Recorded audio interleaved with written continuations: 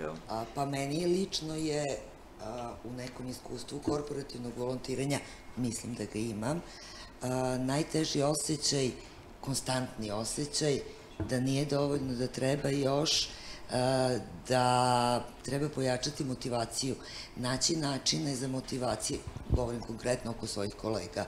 Nemam problem da li je to marketing, PR ili samo problem još, još, još i još, a upakovati ga i raditi ga srcem, a ne iz interesa. Negde mi je to najteži osjećaj.